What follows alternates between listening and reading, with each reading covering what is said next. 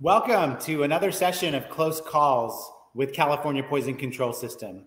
I'm Dr. Rais Vohra, Medical Director at Fresno Madera Division of California Poison Control System.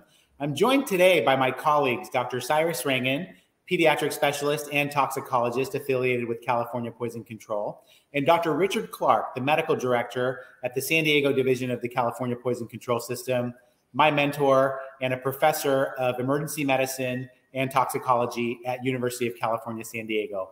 Welcome, Rick and Cyrus.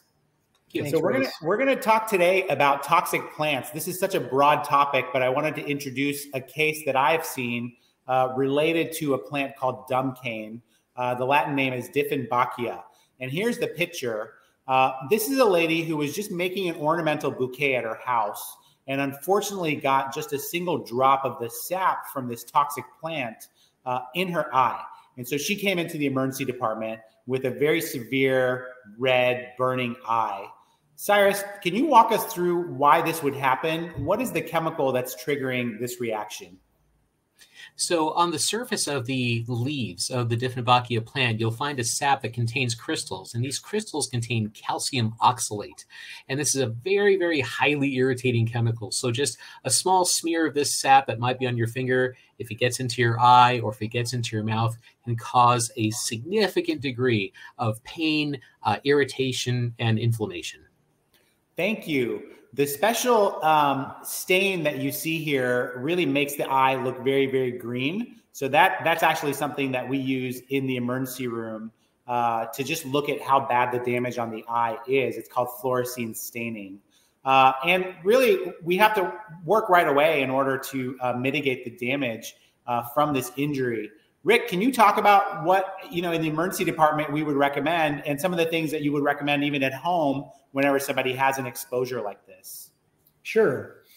If someone like this comes into the emergency department, besides trying to understand the extent of the injury, like you did with the fluorescein here, is the first thing we would do is to irrigate it out. We'd take some sort of a water stream and we'd flow through the eye to get any remaining sap out of the eye.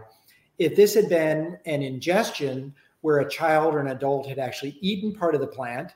We would try and get out of the mouth, whatever that was, maybe irrigate that out, maybe provide some pain medication if it was quite painful, and make sure there was no compromise of the person's airway and they were breathing without any problems.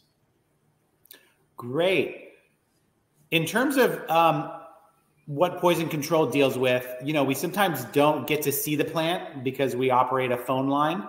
Uh, sometimes we ask people to send us an image of the plant to help out. Sometimes we'll even ask them to um, go to their local nursery if they have time to figure out what that plant might be, uh, although that's not always available. Uh, but I think it, it really brings home this point that we need to know what plants are in our environment uh, and be able to identify those. Um, there's a lot of other plants that can cause toxicity. What I thought we would do is maybe run through several other types of plants and then just um, have you both talk about uh, what their toxic effects might be, because these are very common calls to poison control. Uh, so we'll start with Cy. Um, let's talk about oleander. This is a plant that, you know, I've got growing in my backyard. We see it growing along the highways here in California. What is so dangerous about oleander and why would we be concerned about an oleander ingestion, for example? Sure. A lot of people have oleander in and around their homes. It's got very pretty flowers, and so it's a very attractive plant. And uh, so we see that when people get into oleander, what oleander actually contains are chemicals that are very very similar to a heart medication that we prescribe to people who have who have heart disease uh, namely digitalis. And so they have compounds in them that are very very similar to digitalis. So eating these plants is almost like taking an overdose of that particular medication. So that then can give you abnormal heart rhythms or other issues uh, such as nausea vomiting and abdominal cramping etc and all of these are symptoms that would require immediate medical attention. Great Rick, we've had calls on our poison control hotline about people who wanted to make a salad and they went out and, and were able to actually grab some leaves from a plant called tree tobacco. Uh, and they unfortunately ingested that, that plant thinking that it was okay to eat and put into a salad. But what's so dangerous about tree tobacco and why would we be concerned about, about that person's ingestion? Tree tobacco is a plant that contains nicotine, just like domesticated tobacco is. And it grows all around Southern California and up and down the coast, and has ornamental yellow flowers on it that are very similar to what you can see on the tobacco that we use for cigarettes and cigars. But all of these chemicals contain nicotine. And nicotine people will take into their bodies through smoking when they do smoke a cigarette. And the same symptoms that that causes at a low level, such as more rapid heart rate and some nausea and feeling a bit on the stimulated side, would be augmented in somebody who might eat an entire plant that contains nicotine. They could have profuse vomiting. They can have convulsions or seizures. They can have a very rapid heart rate and irregular heart rhythms and get quite sick and sometimes maybe even stop breathing. So it's a fairly dangerous plant for people to go foraging and using in their salads. Thank you. Yeah, it, it's humbling to think about, you know, these different toxic plant species that are in our environment uh, and that we're interacting with um, uh, almost on a daily basis. Um, just by way of wrapping up, let, us share some good takeaway points for our viewers, uh, whether they're a parent, a patient themselves, or uh, someone working in healthcare uh, about toxic plants. Uh, Rick, what would you say is, is a good, good key take home point uh, when it comes to toxic plants uh, that, that we want to share with our viewers?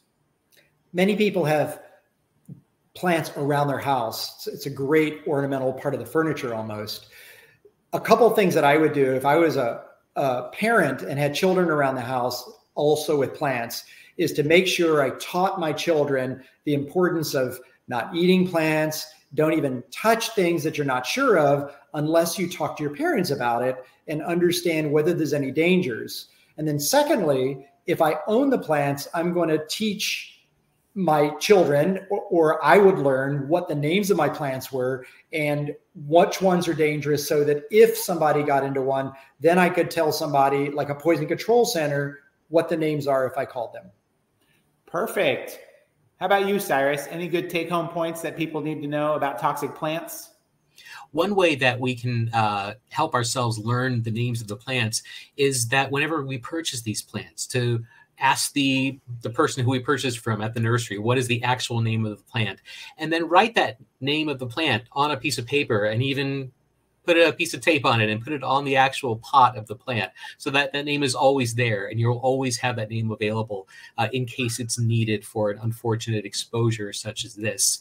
And learning about those plants and making sure just as rick said about teaching our children about safety around plants is so very important to make sure that we prevent these exposures from happening in the first place.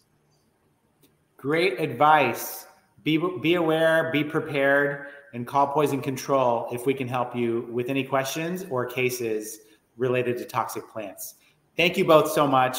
This has been a great session, and we really hope our viewers can get some good information uh, on this episode of Close Calls with California Poison Control System. Thank you both.